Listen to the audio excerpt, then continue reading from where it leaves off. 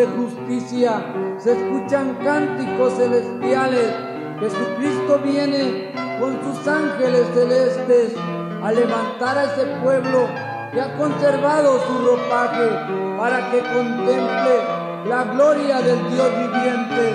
La victoria es del verdadero cristiano que se guarde de este mundo tan perverso. Si quieren contemplar al Rey del universo, Iglesia del Cordero Santo, al final de esta carrera, algo hermoso allá en los cielos te espera, de tener ese encuentro con el que formó la tierra. Oh cristiano, que abrazaste la fe de buena voluntad, sírvele al Señor Jesucristo con gran temor.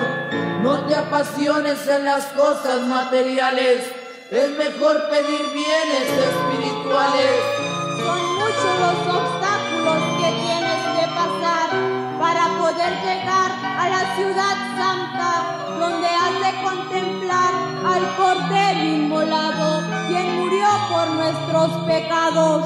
Grande la batalla en tu vida espiritual, pero caminas con una fe bien puesta, porque no quieres desistir del camino santo, porque tus ojos quieren contemplar aquel Cordero Santo. Guárdame, oh Señor, en tu justicia, guíame a caminar en santidad, porque hay momentos que mi alma siente desfallecer, pero por las mañanas postro mis rodillas, clamando ayuda a ti, Señor Jesús, para poderte ver.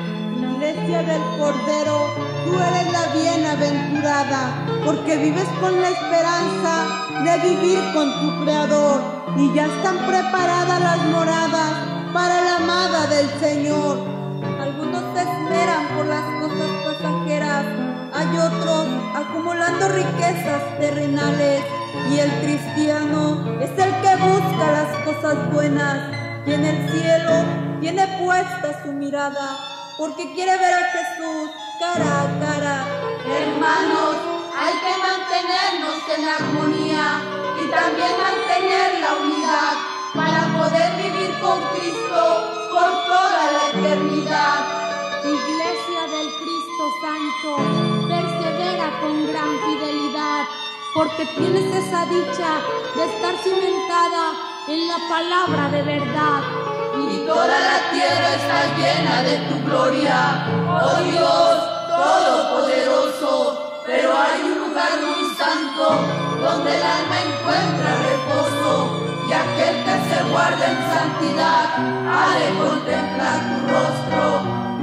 oh Señor, guárdanos hasta tu santa venida, porque tu iglesia te espera en medio de tanta adversidad, porque más allá de las estrellas, ella quiere estar. Oh cristiano, tu esperanza llegará a su final cuando se contemple a Jesús en las nubes y oigas su voz resonante y veas su rostro resplandeciente. La esperanza más grande de la iglesia de nuestro Señor es de estar allá en la gloria para recibir el galardón si guardamos nuestros vasos en santificación.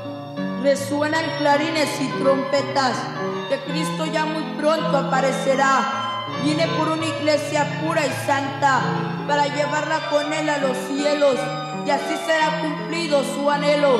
El cristiano fiel y verdadero busca las cosas del Señor con mucha diligencia porque quiere estar allá en su santa presencia.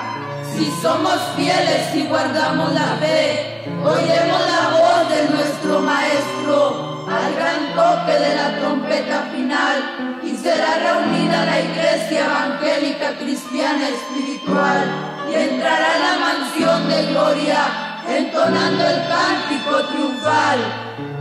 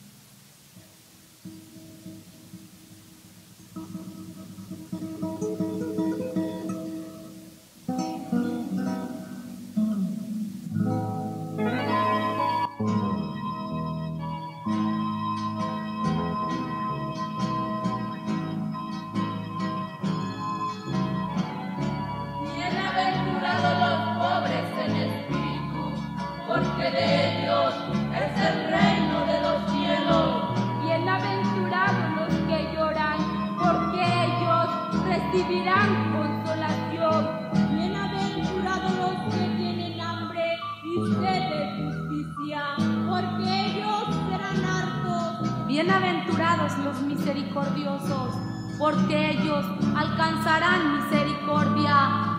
Bienaventurados los pacificadores, porque ellos serán llamados hijos de Dios. Bienaventurados los que padecen persecución por causa de la justicia, porque de ellos es el reino de los cielos. Bienaventurados los de limpio corazón, porque ellos verán a Dios. Bienaventurados los que guardan sus mandamientos, para que su potencia sea en el libro de la vida y que entre por las puertas en la ciudad santa.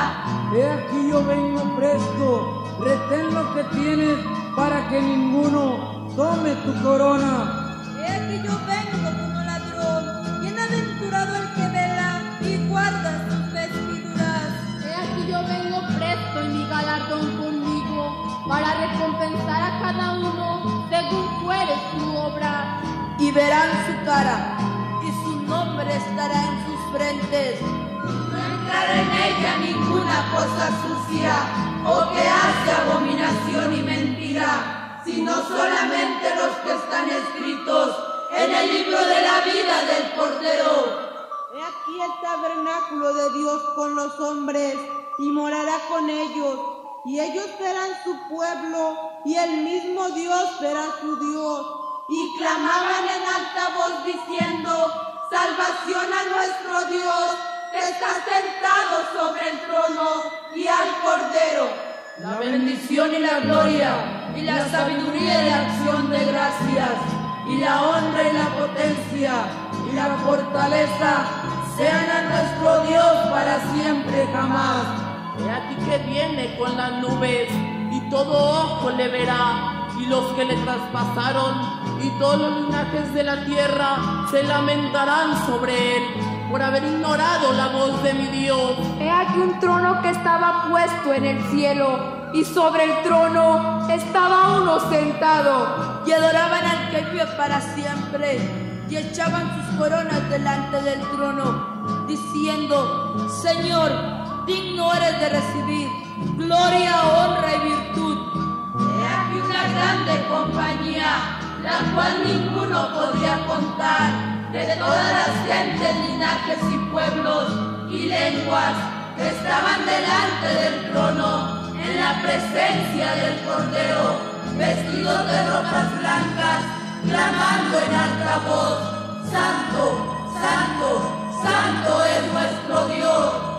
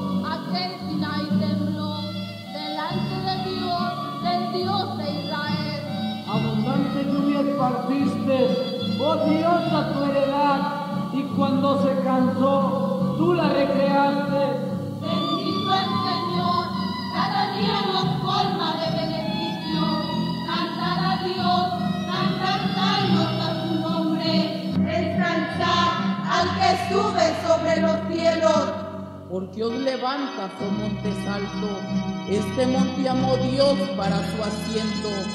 Oíd reyes, estado príncipes atentos, yo cantaré a Jehová, cantaré a Jehová, Dios de Israel. Cuando saliste de Seir, oh Jehová, cuando te apartaste del campo de Don, la tierra tembló y los cielos desfilaron y las nubes gotearon agua. Los montes se derritieron delante de Jehová, el Sinaí delante de Jehová, Dios de Israel. Los cielos denunciaron su justicia y todos los pueblos vieron su gloria. Sus relámpagos alumbraron el mundo, la tierra vio y se estremeció. La tierra se removió y tembló y los fundamentos de los cielos fueron movidos. Porque tú, Jehová, eres alto sobre toda la tierra, eres muy ensalzado sobre todos los dioses. Los montes se le erigieron como cera delante de Jehová. Delante del Señor de toda la tierra, en la mar fue tu camino y tus sendas en las muchas aguas y tus pisadas no fueron conocidas. Oh Dios, en santidad es tu camino. Que Dios grande como el Dios nuestro. Tú eres el Dios que hace maravillas. Tú hiciste notoria en los pueblos tu fortaleza. Y todo el monte de Sinaí humeaba, porque Jehová había descendido sobre él. El fuego y el humo de él subían como el humo de un horno, y todo el monte se estremeció en gran manera. Y tan terrible cosa era lo que se veía, que Moisés dijo, estoy asombrado y temblando, mas otra vez he llegado al monte de Sión, a la ciudad de Dios vivo, Jerusalén la celestial, y a la compañía de millares de ángeles, estamos en presencia, el que hace conmover la tierra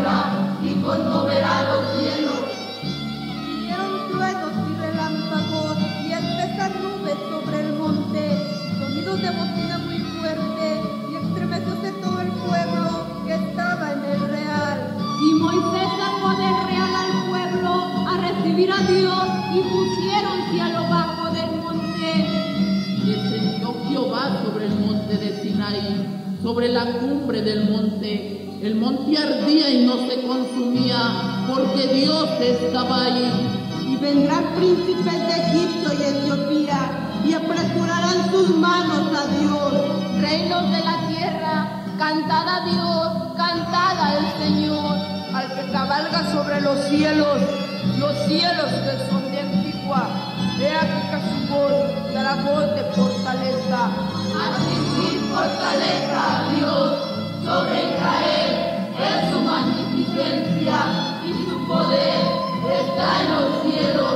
Terrible eres, oh Dios, desde tu santuario, porque tu presencia hace temblar la tierra.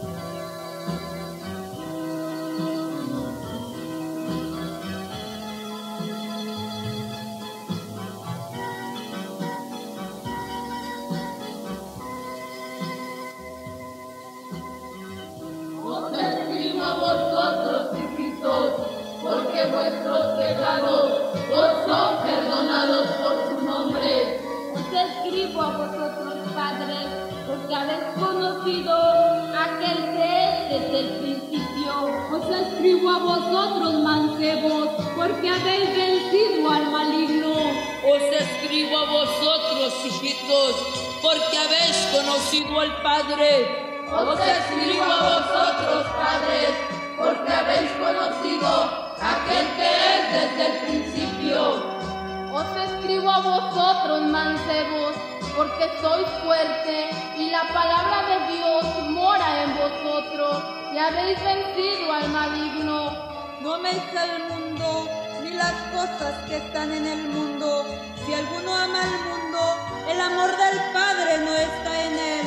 Porque todo lo que hay en el mundo, la concupiscencia de la carne, la concupiscencia de los ojos y la soberbia de la vida, no es del Padre, mas es del mundo. El mundo se pasa y su concupiscencia, mas el que hace la voluntad de Dios permanece para siempre. Al que venciere, daré a comer del árbol de la vida, el cual se encuentra en medio del paraíso de Dios. Al que venciere, daré a comer del maná escondido y le daré una piedrecita blanca y en la piedrecita un nombre nuevo escrito, el cual ninguno conoce sino aquel que lo recibe. Al que venciere será vestido de vestiduras blancas y no borraré su nombre del libro de la vida y confesaré su nombre delante de mi Padre y delante de sus ángeles. Al que venciere, yo lo haré columna en el templo de mi Dios y nunca más saldrá fuera. Y escribiré sobre él el nombre de mi Dios y el nombre de la ciudad de mi Dios, la nueva Jerusalén, la cual desciende del cielo de con mi Dios y mi nombre nuevo. Y respondió uno de los ancianos diciéndome, estos que están vestidos de ropas blancas, ¿quiénes son y de dónde han venido? Y yo le dije, Señor, tú lo sabes. Y él me dijo, estos son los que han venido de grandes tribulaciones y han lavado sus ropas y las han blanqueado en la sangre del Cordero. Por eso están delante del trono de Dios y les sirven día y noche en su templo. Y el que está sentado sobre el trono tenderá su pabellón sobre ellos. No tendrán más hambre ni sed, ni el sol no caerá más sobre ellos, ni otro ningún calor, porque el cordero que está en medio del trono los pastoreará limpiará fuentes vivas de agua y Dios limpiará toda lágrima de los ojos de ellos.